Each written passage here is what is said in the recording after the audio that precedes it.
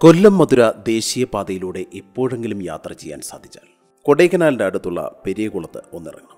അവിടെ ശ്രീ കാമാക്ഷി അമ്മൻ എന്ന പേരിൽ ഒരു കാർഷിക നഴ്സറി ഉണ്ട്. ഏകദേശം ഒരു മൂന്ന് നാല് ഏക്കറിൽ വ്യാപിച്ചു കിടക്കുന്ന നഴ്സറി. ആദ്യം കയറി ചെല്ലുമ്പോൾ ഇതൊരു ചെറിയ നഴ്സറിയാണ് എന്ന് തോന്നുമെങ്കിലും നടന്ന് കണ്ടാൽ തീരാത്തത്രയും വിസ്തൃതിയിലാണ് ഈ നഴ്സറിയുടെ ഉൾവശമുള്ളത്.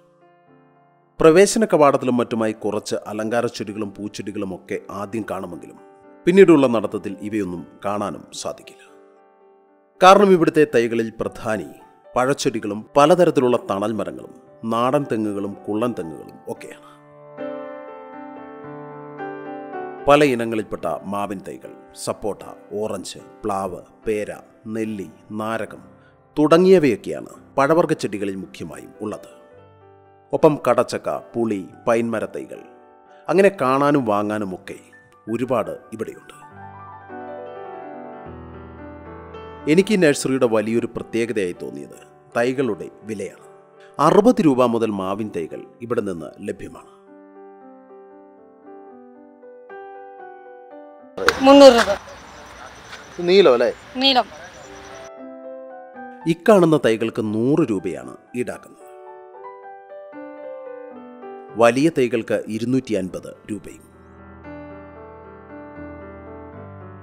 കാസ കാലാപ്പാടി തോട്ടാപുരി സിന്ദൂരം ബെങ്കനപ്പള്ളി അൽഫോൺസ എന്നീ മാവിനങ്ങളാണ് ഇവയൊക്കെ.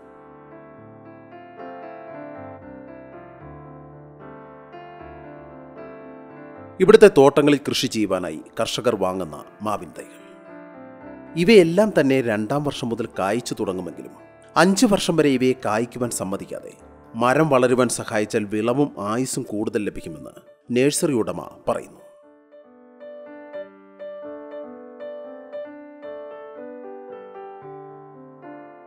മാവിൻ ചെടികൾ മാത്രമല്ല മറ്റെല്ലാ പഴച്ചെടികളും ഇങ്ങനെ പരിപാലിക്കണമെന്നതാണ്. ഇവരുടെ കൃഷി രീതിയുടെ പ്രത്യേകത.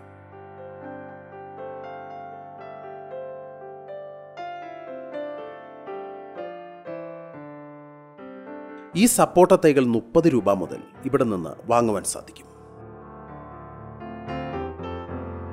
കടപ്ലാവ് തൈകൾക്ക് ഇരുപത് രൂപയും.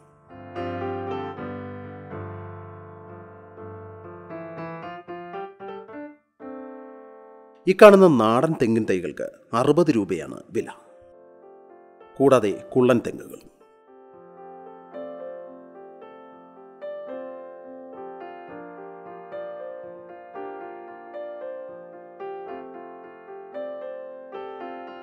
നമ്മൾ കണ്ടത് നേഴ്സറിയുടെ ഒരു തുടക്കം മാത്രമാണ്. ചില സിനിമകളുടെ രണ്ടാം ഭാഗം നമ്മെ ഞെട്ടിക്കുന്നത് പോലെയാണ് ഇതിന്റെ ഉൾവശം.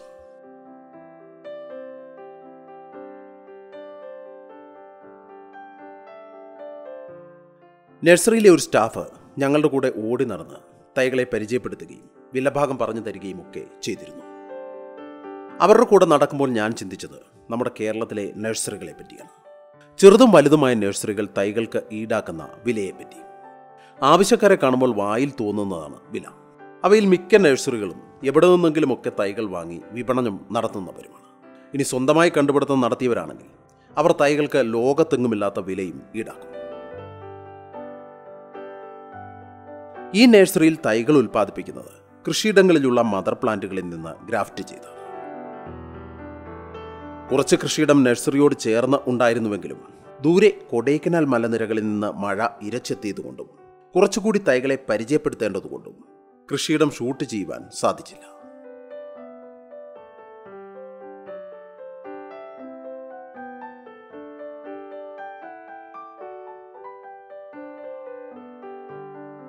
ഇക്കാണുന്ന പ്ലാവിൻ തൈകൾക്കും വില തീരെ കമ്മിയാണ്. ചുവന്ന വരിക്കയും അരക്കില്ലാത്തതും വിയറ്റ്നാം സൂപ്പർ എയർലിയും ആയുർജാക്കും ഒക്കെ ഇവിടെ വിറ്റഴിക്കപ്പെടുന്നത് അൻപതും നൂറും രൂപയ്ക്കാണ്.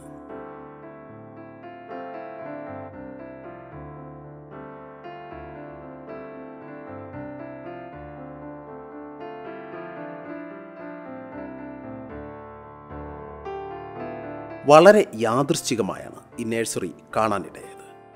സത്യം പറഞ്ഞാൽ ഇവിടുത്തെ വിലവിവര പട്ടിക കേട്ടപ്പോഴാണ് ഷൂട്ട് ചെയ്തേക്കാമെന്ന് തോന്നിയത്.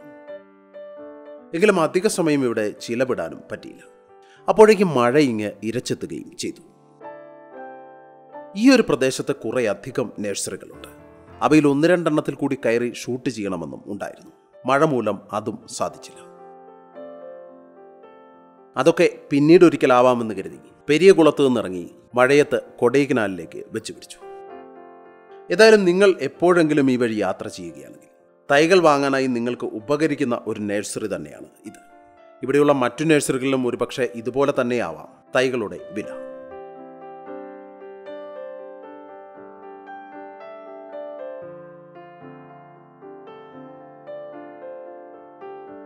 എന്തായാലും കൊടൈക്കനാലിലേക്കുള്ള പോക്കിൽ വിശേഷപ്പെട്ട ഒരു മാന്തോപ്പ് കാണാനുണ്ട്.